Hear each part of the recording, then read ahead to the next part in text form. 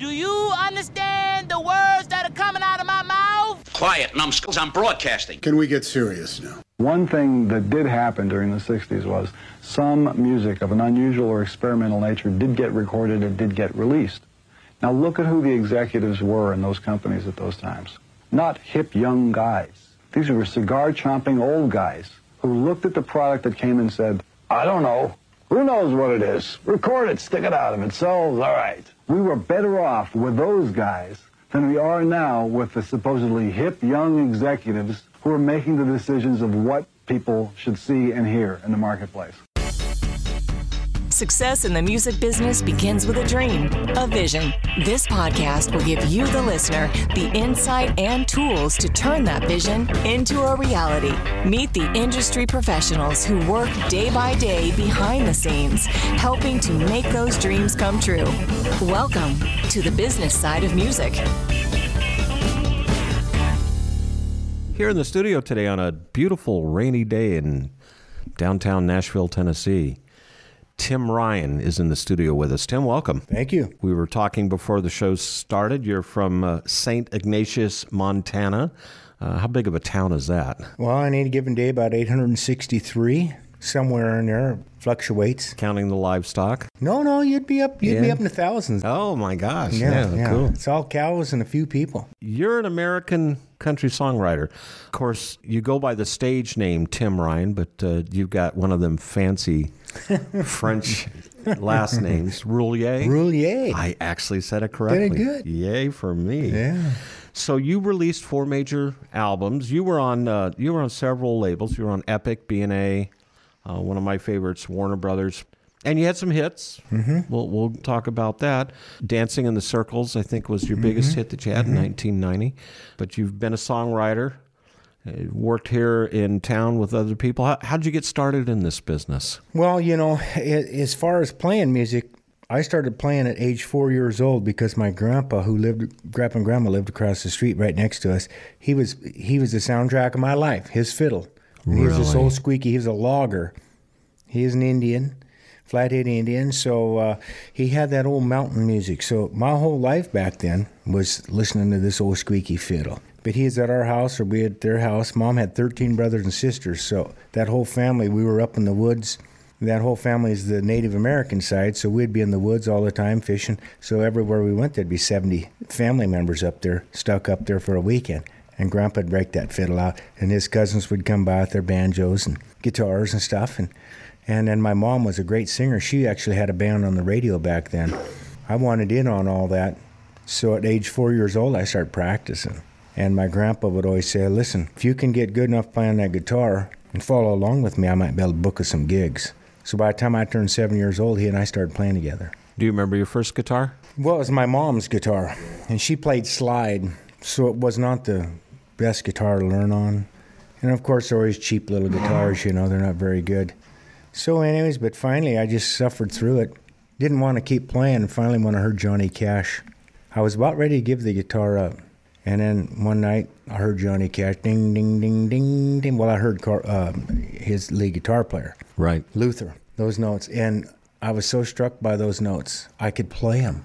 And I'm like, oh, okay, I'm in the game now. Yeah. And then that's what got me going. And Grandpa and I, when I turned seven, he and I started playing all over the place. What brought you to Nashville? Uh, I've had been playing all my life. I had the most successful band in the Northwest called Sugarfoot. We were winning Battle of the Bands. We were. I just thought I, I want to step it up. I know I'm good enough, so Were you were you songwriting back then? no, I was. Mine went in steps. When I was with Grandpa, I never wanted to play. All I ever wanted to be was Duane Eddy and and and Anoki Edwards. I just Yeah. wanted to be a lead guitar player. And then Grandpa, because he did all the singing. Well, it was my fifth grade teacher who got me singing. So once I started singing, then I kind of had my own bands on the side all through college. Then I had the top band in the Northwest. And I just, uh, Peggy and I, my wife, we, we got married. And the day after we got married, on Sunday morning, we just didn't know a soul down here, loaded up the truck, came to Nashville. What year was that? 1987. It was a lot different town back then. It was old country back then. Yeah. People don't really understand when I tell them that when we rolled into town, Nashville at the time was like going to a little college. You had the 16th, 17th, and 18th Avenue, and we all hung out together. When we rolled into town, I got signed to a major record contract on my very first day uptown, on my very first Unbelievable. moment. Yeah. Wow. Yeah. How did that happen? Well, I didn't really fancy myself as a songwriter. I knew I was going to have to have some songs because I'd talked to a few people. So I sat down and started writing some songs while I was in my band in Montana.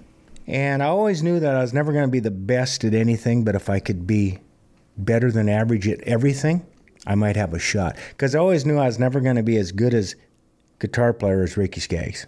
I knew I was probably never going to be as good a songwriter as Merle Haggard. But if I could combine them all. So when we came to town, I had three songs. So I, somebody's again, I knew nothing of Nashville. We didn't know a soul. Somebody says, "Hey Tim, you need you need to go uh, demo those so people can hear them." So I went out and demoed those three songs, and I bumped into a guy. Said, "Hey, listen, I have three songs." Well, he says, "You know, why don't you uh, go meet with this lady up at ASCAP, Pat Rolfe? Let her hear them." Okay. So I get an appointment with Pat Rolfe. She was vice president of ASCAP. So I had three songs. So Pat got about a minute into my very first song, and she picks the phone up and she called somebody. She says, Hey, I'm sending this kid from Montana over to see you. I think he's a star. So I thanked her and I walked next door to Tree Publishing, Yeah. which was your biggest publisher in the world. Absolutely. Buddy Killen owned it. They had everybody Hank Cochran, Merle Haggard, Willie Nelson, Harlan Howard. That was all the staff there, Roger Miller. So I walked next door and I met this guy that Pat sent me to. So he puts my cassette tape in. He got about 30 seconds into that first song and he called somebody on the phone. He says, Hey, I got this kid over here from Wyoming, some kid. He says, uh, Can I send him up to you? He said, I think he's a star. So I go upstairs and I waited in the lobby for about an hour and a half. Well, here it was Buddy Killen, owner of Tree Publishing, Hall of Famer, world famous. So Buddy says, Come on in. So he puts my cassette tape in. He literally got 30 seconds into that first song, picks the phone up. Roy, listen, I'm walking over with a kid from Colorado. We're coming over. I think this is your next Your big states star. kept changing. They changed every time. we walk across the street to CBS Records. The president of CBS Epic, Roy Wunsch, met us at the front door. Walked in the back room. He popped the cassette in and listened for about a minute and a half. And he says, "You want a record deal here at Epic CBS? I think you're going to be as big as Willie Nelson." And uh, looking back now, I think he meant Willie Wilson. He's that mechanic down at the Dodge dealership. was signed right then and there. Had a record deal and a publishing deal all in the first stop. First day. Wow. And And you only had to go through three states to get there. at three state, Yeah. about nine and a half, ten months later, Dancing Circles came out. Was a, a worldwide success. My grandpa was in the video with me, and then uh, then changes started happening, Oh, yeah. unbeknownst to me. Yeah, which they still do, by the way. But yeah, what kind of changes took place? I mean, it, obviously, it, it upset the apple cart a little bit, I guess. Well, I've had a colorful music career. If you got time, I'll tell you. We got we got nothing but time. So I, right off the bat, Dancing Circles was number one in all Southwest. We had a major hit on our hands. While they were trying to get Seattle and San Francisco, those guys on board. Well, they didn't really want to play it because it was kind of a Texas swing, which I loved playing back then. But we knew we still had a hit. Coming out of that song, there was controversy with my producer and with a person at the record label. Nothing to do with me. Never heard that story before. Yeah. Yeah. So I got tossed underneath the bus. They, they forced me to make a change to a different producer. And again, it's, I don't even know what the circumstances was. I'm 24 years old at the time. I don't even know these guys. So once the change was made, then we never picked up steam ever again. Now, now we're just done. I think they just did that to appease somebody. So there, there went three years of trying to get this thing rolling. Of your professional life. Yes. So the day that I got released from CBS Records, the very day, this was before cell phones now. This is probably 1992. Well, it's before I had a cell phone, anyways. I'm walking in my door the day I got released, and my phone's ringing. I answer it, and it's this guy from RCA Records, big producer. Hey, Tim, I heard you got released from CBS Records today. Yeah. What are you doing right now? I just walked in the door. Would you come back to town, bring your guitar with you, and I want you to sing me a song? I turn right back around. I head back town.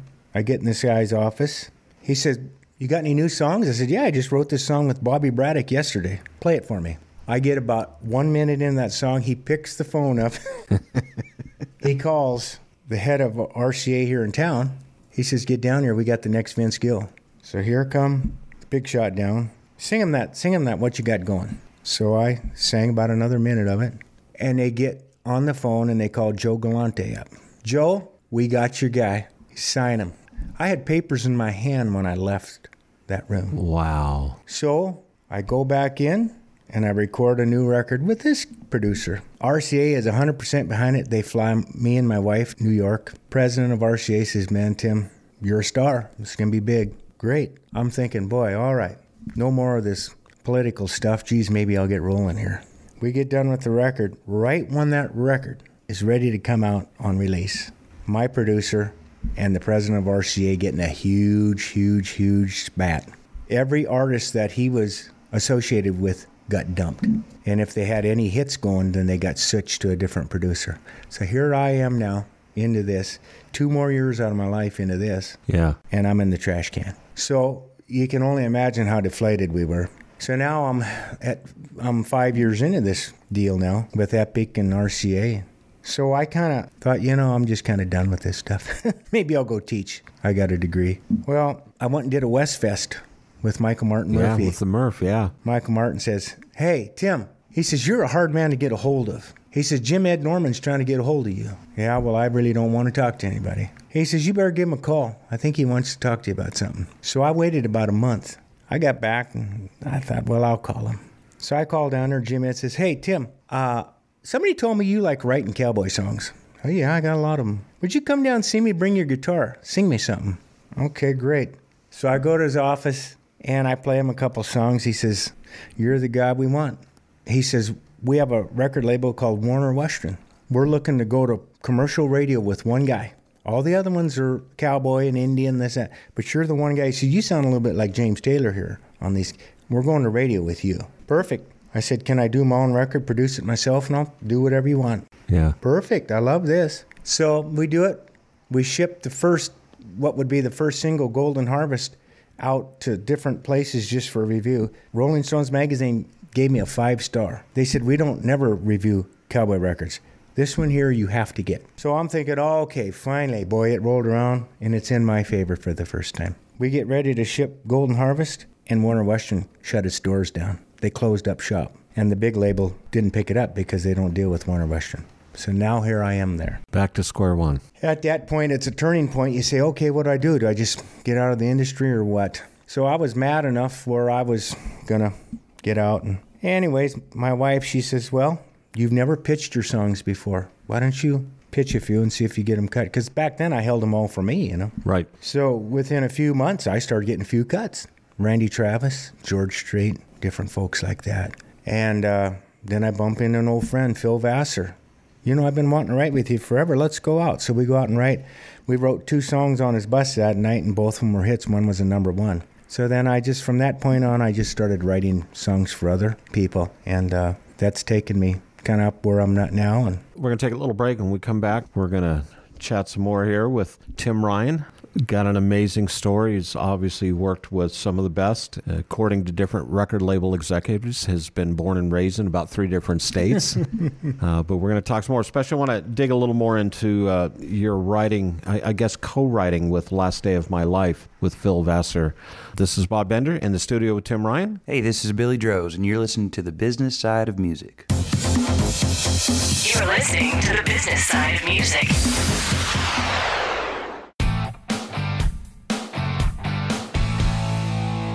Hi, this is Vinny Ribas, the founder of Indie Connect.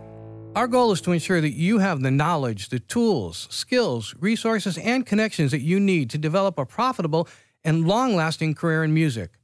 One way we do this is through these Business Side of Music podcasts. I'd also like to invite you to check out Indie Connect magazine, our free multimedia online publication packed with practical interviews and advice from music industry experts. Go to www.indieconnectmag. That's www.indieconnectmag.com. Let us walk with you and guide you every step of your musical journey.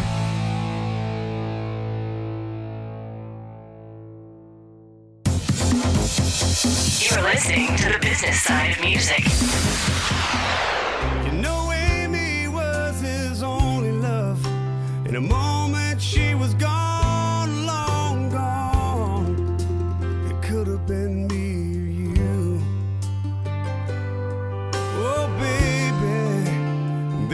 time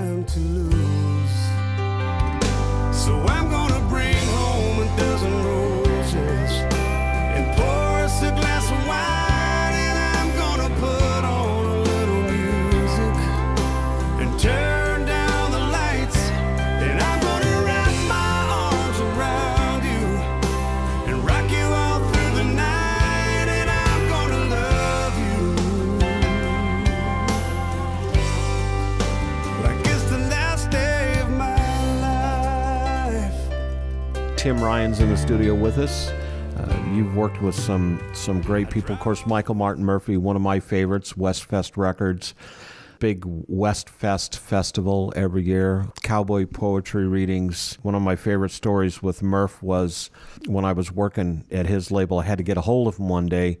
Uh, we were working on a a show where we were going to get him on David Letterman is what we were going to do, and, and I said, okay, we're working out the details. Uh, let me call you in a few days. And he goes, well, I'll be on a cattle drive in a few days. I said, well, just take your cell phone with you. And he says, where I'm going, there's no cell phone towers. Yeah, what a great guy.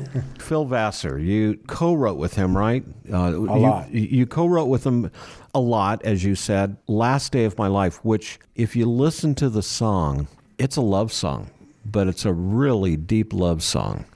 The storyline, how, how did that come about? Well, Phil's one of my best friends, and I just love him dearly. And uh, I think he's just one of the most talented guys ever. He's a Hall of Famer. I was bringing the kids back from school in this really Huey Lewisy feel. I'm going to bring home a dozen roses, ding, ding, ding, ding, you know. And I'm boy, and I'm getting in this, and my little girl, she's very musical. She goes, uh, "Daddy," she says, "that sounds like Phil Vassar." "Ah, You're right. He's been wanting to write with me.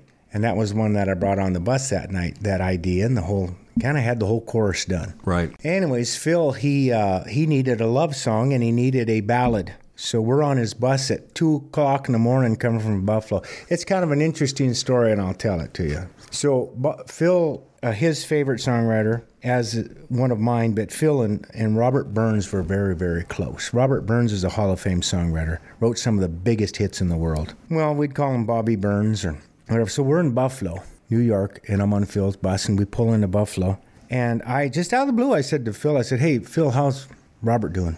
I don't know. Let's call him. So we get on the cell phone and we get Bobby's voicemail, Bobby Burns. So Phil leaves him this message. He says, Bobby, Tim and Phil up here in Buffalo, man, we're thinking about you and we love you. Hang up the phone. I said, Have you seen Robert lately? Yeah, he says, You know, Tim, he says, I'm worried about him. You know, he's just, uh, he's drinking too much. I'm, I'm very worried about him. He's kind of down. He's depressed. We need to go take him to lunch when we get back. Yeah, let's do it. So we didn't think nothing about it. So we get on his bus and we start writing that song. Well, Phil is so tired. He's asleep at his piano on the back of his bus. And I'm up I'm up there and I'm trying to write and I'm giving him this fast thing and this fast thing. And he's almost asleep and he keeps slowing it down. And he goes, I need a ballad. Okay, well, whatever, you know. And we stick in, we needed names, so we throw in Bobby's name. We just left Bobby's house, the service was today. Oh, my Got me thinking about how fragile life is as I drove away. Don't think nothing of it. We're putting our friend's name in it, you know, we're just paying homage to him. Right. So we get back to Nashville on Sunday morning. Bus drove all night. We got back to Nashville and uh, they dropped me off at the house. And about an hour later, Phil calls me and goes, Hey, Tim, I'm over at Bobby's house. Well, geez, tell him I said hi. I can't. He's dead. Oh, my God. Huh? What do you mean? He drank himself to death. We were one of the last ones on his codophone. What are the chances that not only we're on one of the last on his codophone, what are the chances are we write a song that night in homage to him called The Last Day of My Life? Isn't that strange? Oh, my gosh. So that went on to be a top hit country music that year. Yeah, number two on the country charts. Number one. Number one hit on the country charts. It was a number one hit. Yeah. Oh my gosh. Mm-hmm. Well, Bobby had to have known. Strange circumstances, you know. And Yeah. I've had different things like that happen all the time. A lot, a lot of songwriters have stories like that, you know, but uh, just weird circumstance. Who else you been working with? Well, you know what? I'm I've written. I've been lucky enough over my life to have written with the greats. Hank Cochran. Gosh, Hank and I just wrote a lot. Um, I, I write with the great Charlie Black. Charlie Black's one of the greatest songwriters in the history of music. Still, prob- Charlie's probably still in the top four. His name's on everything. All the Rebas. I mean, everything from the 70s. Char- Charlie would have four and five songs out at one time. He had so many hits. So this new musical that I just wrote, uh, which we might touch base in a little bit, Charlie and I wrote a lot with that. But uh, I've I've been able to write with so many over my life. But the older I get now, I've pretty much got it down where it's just three people: Phil Vassar, Charlie Black, and I love writing with Sharon Vaughn, the great Sharon Vaughn. She wrote "My Heroes Have Always Been Cowboys," uh, stuff like that. And then I do still write some with my friend Leslie Satcher. Leslie's a great writer in town. So I want to talk about the, the symphony that you you've written, and we'll we'll talk about that after the break. But I I want to talk some more about songwriting because it's changed so much the dynamics of it all. You know, when you share the story, you came to Nashville and you had a deal the first day you were here. I remember when I came to Nashville about ten years after you did. Late '90s, you saw a lot of that still moving up and down Music Row. You'd see songwriters and artists carrying their guitars and going into different buildings. Of course, Music Row's basically gone now. It's, you know, it's all condos and, and offices. And how does a songwriter make it today? I mean, if, if if you had to do it all over again, you came to Nashville, how would you approach it? Because you don't, you can't do it the way you did it. No, nowadays I would tell you to go get an education. you know, well, I've said that all the time, anyways. Have a backup plan. You have to, because when I got here, like I said, it was like a college. So here I am, 24 years old. I'm at Tree Publishing. So walking in Tree every day is 80 songwriters. They they hung out there like it was a frat house. Here's Bobby Braddock. Here's Hank Cochran. Here's Red Lane. Roger Miller's in the room next door. They're all writing together. They're laughing. Here, well, here comes uh, this guy, that guy. Here, oh, Merle's in town this week. You know, Merle's in that other room, and they're writing with Red Lane right now. Oh, that's pretty neat. You know, and then it's lunchtime. Let's go to lunch. Well, here's Chet Atkins. Harlan Howard. Harlan Howard always called us all young juveniles, you know. Get over here and sit at our table, you young juvenile. And, and you'd go sit over there and have fun with these guys. And they all wanted to get to know you. Back then, it was a community. And everybody hung out, everybody loved country music. I think we were family. Peggy and I, we would get a call from Jim Ed uh, Brown. Hey, we're having a potluck dinner, uh, having all the Opry members over at the house and stuff. You and Peggy want to come over? Potluck, let's play cards. We'd go over there. There'd be Jan Howard, Jeannie Seely, Johnny Russell. Here we're 24 years old. They'd make us feel like we're part of the family. We had so much fun back then, you know.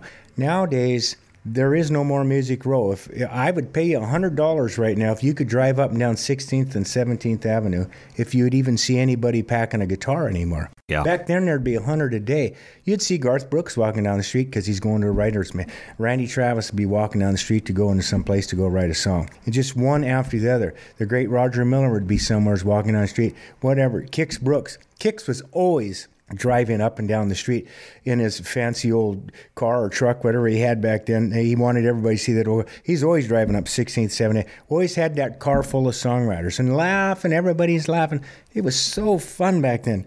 People, you know, that was back when times were wild. You know, they were drinking at 11 o'clock in the morning. And they would stay there until 2 o'clock in the morning writing songs and record them. So you could write a hit and they'd go right into that studio and record it. And they were just jam packed. But back then, you know, nobody ever owned my, uh, uh, touch, touched any of my music except uh, CBS Records, of course, had a big part of me for selling records. With my deal with Tree Publishing, once I got out, I mean, I, I have always owned all my own publishing. Nobody touched anything. Nowadays, they have these 360 deals where if you're a young kid coming to town, you better be prepared to be on the road for 340 days a year because these guys have their hand in everything you make money on. Yeah. Called the 360. Well, I, I don't know how many people are in it, but I always hear stories almost everybody is now. Well, how can you make money like that? So, yeah, you might make some good money as a young kid out touring, but you're going to be gone 300 days a year.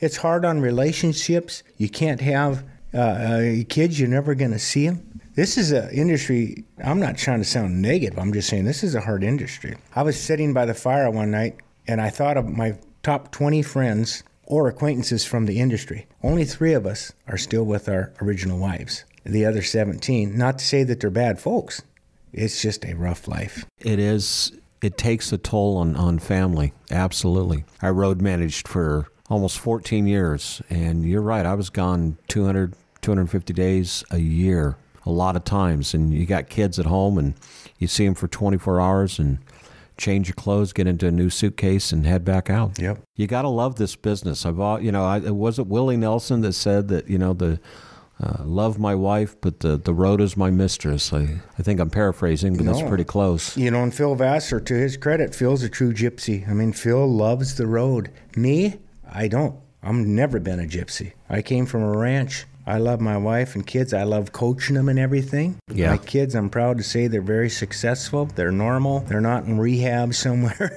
you know, they're not goofed up. It's because my wife and I, we determined that we were going to make it happen without having to be away Yeah. and try to keep it on our terms as much as possible. We're going to take another break, get another word in for our sponsors. When we come back, we're going to talk about My Grandpa's Fiddle, which is a project you've been working on. It sounds like it's near and dear to your heart.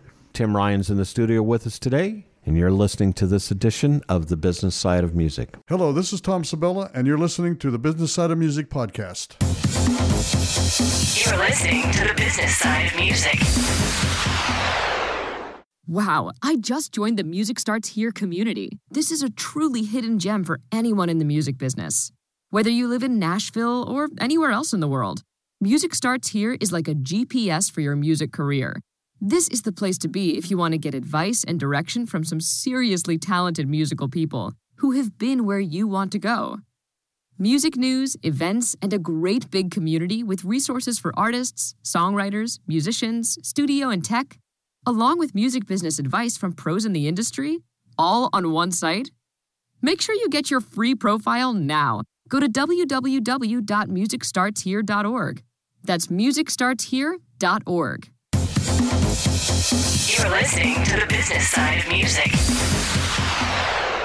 Hey, we're back in the studio. You're listening to this edition of the Business Side of Music. Just in case you didn't know, thanks to Tom Sabella, which, by the way, Tom's in the studio with us today, overseeing things here. well, we always like having Tom around here. Tim Ryan's in the studio with us today, and you know, I like talking with you because you're old school, and I'm one of those guys that, you know, when I came to Nashville, the first time I came to Nashville was 1987, and just fell in love with this town. Of course, back then you still had Music Row and Demonbreun was was full of the gift shops. You know, you had an Alabama gift shop and a George Jones gift shop and a Hank Williams Jr. gift shop. Uh, Reba McEntire had her museum across the street, and Country Music Hall of Fame uh, was across the street. And of course, that's all gone now. Nashville still has some magic left in it, though, doesn't it? Oh, sure, it has magic because when you have this much talent, where else can you go and see Peter Frampton playing one night and Michael McDonald walks in and sits in with him, and then all of a sudden here's a couple bass players from uh, this or that, and, and then Vince Gill might come in and, and sit in with him, and one of the very few towns in the entire world where you can get that.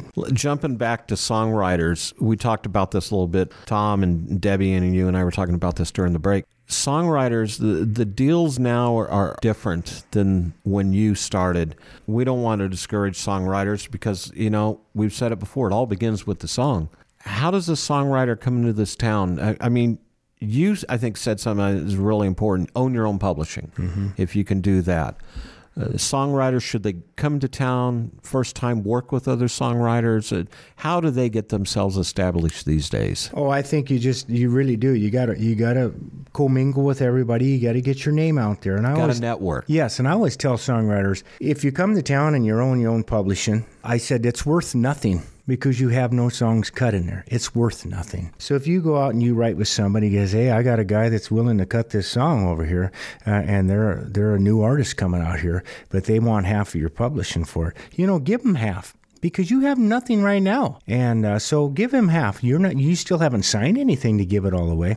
You're, you're everything else. But if he wants half of that one song, give it to him because that's going to get your name out. It's going to get some money flowing for you. And then if it ends up being a big hit, other people are going to want to write with you. But if you go, oh no, I own all the publishing. Geez, I'm not giving that up. Well, then you've taken yourself away from the table already. So I'm not. I'm never afraid to. Uh, work if I have to give a little something up here and there. Thank goodness I haven't had to, you know. Yeah. But if you have to. And then also a young guy, anytime you're around this much talent, magic can happen at any time. So just, I always say, go in there and, and feel free swing for the fences. I have never, ever backed away from uh, an issue or swinging for the fences. I've struck out 99 out of 100 times. But I hit a home run when I married my wife. And then I've had a few home runs along the way, but I've struck out a whole lot of times too. But a lot of people are always afraid to take that first step. You know, a lot of young kids, young kids today, they don't like controversy. They're on their phone. They're safe. They're safe when they're in a room on their phone. They can, they can tweet and they can do this. Nobody knows who it is over here. Right. But when it's face to face, you know, when I came to town, that old school, man, you're sitting with the president of the company. And these cats back then were fun, but they'd come right out and tell you how bad you stunk or get them teeth fixed, you know, or you got to do something here. You better get a hat to cover up that head. Kids don't like controversy today. Yeah. And the only way you're ever going to solve something is you got to get right in the middle of the fight and get after it. So hopefully, don't get discouraged out there if you're a songwriter. Come to Nashville. And also, I hear so many kids go, well, God, you know, I got three songs, Tim. How do I get?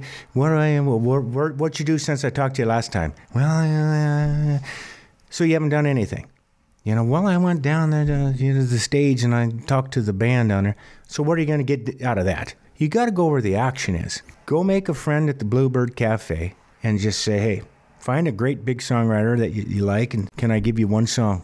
Don't give them twenty. Can I give you one? And pick your best song pick the best song. They might say, Man, I love your writing. And I said, Also, you got to go out and play. You might have to go play for free for a few shows, but if you can build up some source of a following, then you got a little momentum going. But you just can't keep pondering stuff. Too many people just sit there pondering, you know. Got to be a little bit fearless. I just barge right in. Let's talk about Tim Ryan's My Grandpa's Fiddle. I, I love the title, and obviously, if you listen to the beginning of the show, you understand where that comes from. So I'm going to assume that's the concept of this. Let's talk about what this exactly what is my grandpa's fiddle. Well, you know, one night my wife and I were talking and, and I said, you know, hey listen, I'm at the stage now where I, if I never write another song, I'm fine. If I never even sing again, I'm fine with that. Been there, done it. Life's too short. Guess I'll go do something else. But I said, I I think I have a neat story to tell. I'd kind of like to write my own story. And uh, so Peggy says, well, go do it. Just see what comes out of it, you know. So I started kind of coming up with I thought I had a great story growing up on an Indian reservation and playing music with my grandpa from age four years old, five, six years old, all the way up. Grandpa was the town judge, he was the tribal judge. We had so many colorful stories. We started playing bars in the seventh, or uh, seven years old. I was playing bars. Uh, when I was 10 years old, I, was, I played lead guitar for Tex Williams. Smoke, smoke, smoke that cigarette, make right. me. Yep. So I had all these stories of Grandpa and I playing all over. And then Grandpa, at uh, almost 90 years old, comes down as in my first video on CBS Records, Dancing Circles. He's seen worldwide. My grandpa was a star, anyways. And then our story when he's 92 years old, I go home to do my first big concert in Montana. Sold out show, big crowd. Grandpa's one of my big guests. He comes out, and Grandpa dies on stage right then and there with me at 92 years old. Well, how many people have that story to tell? Oh my gosh. And he was playing Grandma's favorite song, The Old Kentucky Waltz. So I thought, well, you know, I'm going to put this story together. So I started weaving our stories. Then I needed songs to match them stories. Well, I get with my great my great co-writer who I learned more from than anybody, Alex Harvey, wrote Delta Dawn Reuben James. I learned more from Alex than anybody. I got with the great Charlie Black, and we started writing different songs that match these storylines. Then I needed some video, I thought, to pictures and stuff to go with these storylines. I still didn't know what I wanted to do yet with it. So eventually I started chatting with people, and I go uptown and I met with the great Tim DuBois. Yeah. Probably one of the most powerful men of all time in country music. President of everything. Hall of Fame writer, Hall of Fame producer, Hall of Fame everything. I got with he and the president of Nashville Songwriters, Bart Herbison. I told him what I wanted to do. I played him a couple songs. And they said, Boy, we love what you're doing. This is unbelievable. Uh, and Tim says, Do you have a corporate sponsor? Uh, what do you mean? Well, you're going to need probably two and a half million dollars to pull this off. Huh? Yeah. I don't have no two and a half million dollars. So I came out of there more determined, called a friend up and I said, Hey, uh, what camera should I get? And would you come over to the house and show me how to run it? Because I'm going to go out and start videoing this thing. He came over, we ordered it. For the next five years, I videoed everything I thought would work, and I wrote, co wrote the songs with my buddies, and I finished all them stories. I started putting this whole musical thing together. I took it back to Bart and Tim about a year and a half later. Now I played them a few things, showed them a few video. They said, "Boy, this is great, man! I love this. Boy, I love this song." So you did get a? Did you find a corporate sponsor then? Uh, no. You think I'm gonna need one? Oh yeah, you're gonna. This thing's gonna be two and a half million dollars, easy, to put something like this on. Man. So I got done with that, and I, said, "Heck with that! I don't have that." Peggy and I, we just we paid for everything. I went out and did film, put it all together. I spent nine months in my basement, 20 hour days, seven days a week, putting all my social media together on Final Cut Pro. and I'm not even a tech head. Yeah. And then I went in and recorded everything. Well, now I need symphony. It's a symphonic.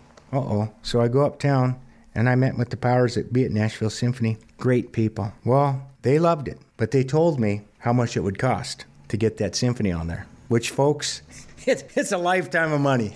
and also, they they would own a portion of this. Well, that end of the meeting there, I said, well, nobody's going to own this but me. Now I'm stuck. How do I get this symphony on there?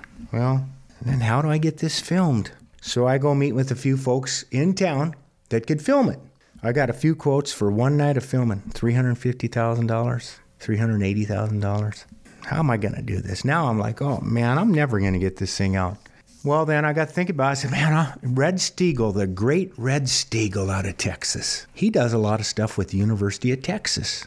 I thought, man, Red told me a long time ago to, to try to get my college involved with projects of mine. So I called back to University of Montana and said, hey, listen, would you guys be interested in helping me stage this thing? And I'm going to film it up there. Oh, man, we love this. Great.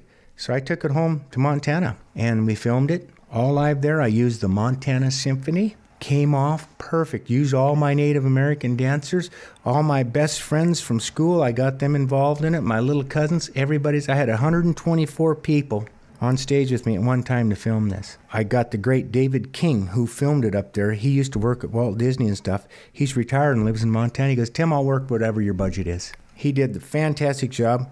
Played it to a sold out crowd, the highest grossing show of all time in the history of that theater at the university. John Prine's played there, Bonnie Raitt. I said, man, I feel pretty, pretty good here. so we get that all done. But now what do we do? I got this live show filmed, Montana Missoula Symphony on it. Okay, what are you going to do? Well, I want to get it on uh, national TV. well, good luck with that. You know, chances of that are one in four million. The other guy, Tim, you'll never get it on TV. Well, just if you stay persistent enough. So I thought, man, I got a friend of mine out in California. Uh, I think he's a big shot. Well, yeah, he is. He's the president of William Morris. He founded Celtic Women and Riverdance, to name a few. I called him. I said, "Can I send you this thing I filmed in Montana?" Yeah, I've heard all about it. Send it. Send it to him. He said, "What do you want to do with it?" I said, "Think we could get a PBS?" Yeah. He says, "You know, I golf with the president of PBS." He says, uh, "Let me call him." So about a week later, he calls me on the phone had the president of PBS on there, and, and the guy says, Tim, I love your show. I want to make it a national PBS show. The chances of that right there were basically non existent. Just, they don't happen. Well, it happened. So, as of last year, uh, my show went national. According to some of the paperwork that we've gotten back, it looks like potentially now there could have been 100 million viewers to this. Wow. My grandpa's fiddle. And it's played everywhere but Nashville. Nashville PBS hadn't played it yet, but everybody else has. Yeah. But it played uh, everywhere New York City, Seattle, San Francisco, LA, Denver, Minneapolis, the whole state of Montana. They're playing it all the time. So now we're getting ready to go on tour with this thing. So, make a long story short, that's where I'm at with this. Thanks to my wife, who's been beside me the whole time. She probably should have thrown me out a long time ago. But for all you songwriters out there and everything, we own all the rights to that thing. We own all the publishing, we own all the rights to the images, everything. We had to fight through all that. And by golly, every once in a while you break through the ice and can make it. I think it's a it's a great story because what you said in the beginning and what we say so often is is own your songs, own own it, it's your life. This is your story. You know, songwriters they, they don't look at a box of cereal and write a song. It's it's emotions. It's you know it's their life's blood. It's their children when they write these songs. You don't want to throw it out just hoping. I like what you said. I think this is a great way for anybody, songwriters, artists, to to stick to your dream. Don't give up. It's not going to happen overnight. You know, we we talked about who was a Carrie Underwood during the break. Is probably one of the few on American Idol that's that's actually made it. I think Debbie, my wife, said it too. You typically want to look at number three or number four on those shows instead of the winners because American Idol or whoever the show is, the voice, they, they pretty much own you for a long, long time. And, and it's nice to be your own person if you can. It is, and that's tough. It's tough to do when you're trying to pay the rent here and there. Fortunately enough, again, I have a great partner that you know she allows me the freedom to do this, and I think that's where I've been able to keep my mind free and focus on this. Because without Peggy, then I'd have would have had a hard time. But a backup plan's never a bad thing either. Backup plan is never a bad thing. Yeah, just in case. Yeah. But live your dream if you can. Well, and you know, Debbie brought it up on break too about the money streaming. Okay, very quickly now for songwriters out there. So when I was an artist, there was several more record labels back then than there are now. There's only a few record labels. Right. And there's only a few publishers back then there was a lot of publishing houses going strong and back then back then i i, I think there's probably 2400 radio stations maybe playing your country songs nowadays i wouldn't again these aren't numbers or facts but i wouldn't It's a, doubt lot, it's a lot less than maybe that. 800 Yeah. There's probably a third of the country music stations out there because they all want talk radio now. Every one of them want talk radio, or they're going sports or something. So now that's cut down to a third. But now you have this streaming. So basically, what you're doing now and- is nobody's buying. Let me ask you out there in Radio Land, when's the last time you bought a CD? Go ask your friends. Hey, who's the last CD you bought? So there, you- there you have it right there. Nobody's selling CDs. All your big stars now who used to sell a million CDs, they're lucky to sell 200,000 CDs. right. Everybody's trying to steal these songs any way they can, download them, download them.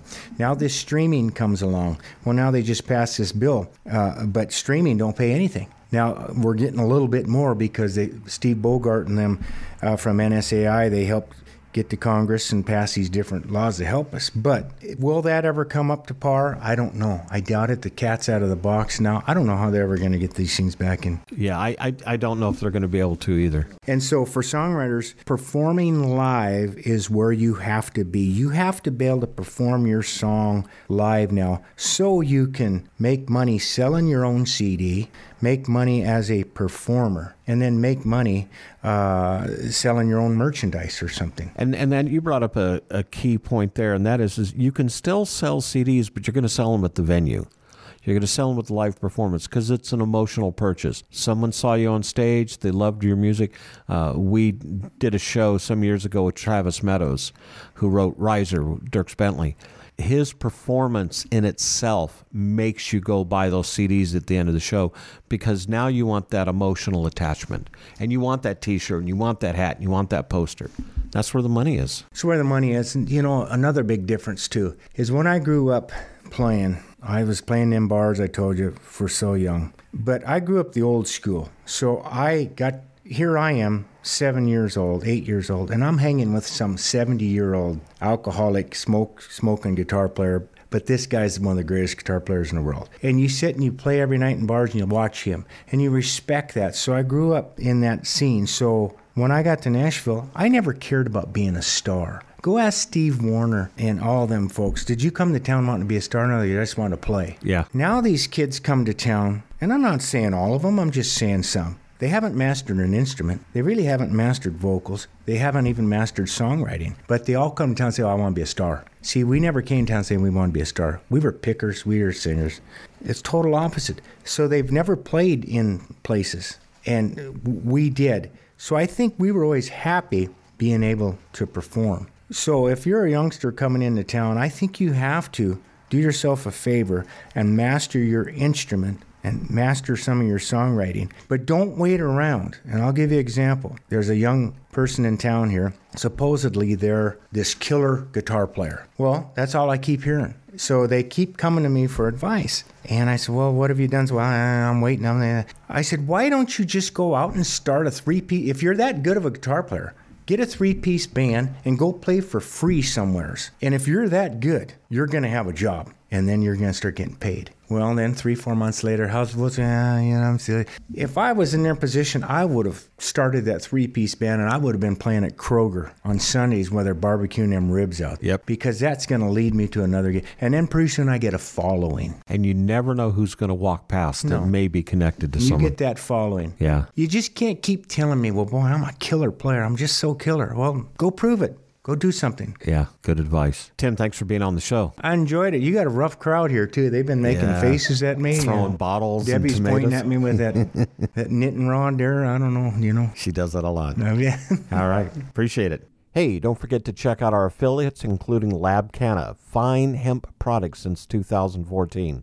Click on their link on our website for more information and how to order their product line. Also, don't forget to check out our other affiliate, Music Starts Here. You can find them at www.musicstartshere.org. Probably the best one stop shop for the singer, songwriter, or aspiring musician who is relocating to Nashville or wants to. Also, shameless plug for the business side of music. Become a YouTube subscriber. Check out our website at www.businesssideofmusic.com. Follow us on Facebook at the Business Side of Music Podcast or on Twitter at Business Side of Music Podcast. The Business Side of Music is the creation of Tom Sabella and Tracy Snow and is produced by Bob Bender. The Business Side of Music is recorded at Music Dog Studios in Los Angeles, California and Nashville, Tennessee. Production sound design by Keith Stark. Voiceover and promo by Lisa Busan. When's it gonna start? I don't know. When's it going to end?